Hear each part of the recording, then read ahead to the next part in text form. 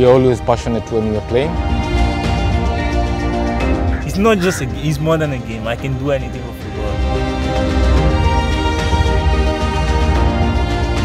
Football is like, I mean, it's life for me.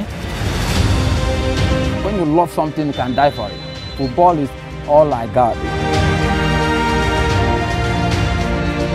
I'm just here to play. So I want to see how good I am. I achieve all I have through football. Player is like a family. We eat together, we drink together, we do everything together. You can't even know maybe we are from other countries. African player will bring the energy in it, then the Indian player will bring the flair. Football speak one language. Once you score goals, no matter what language you speak, you definitely will score goal.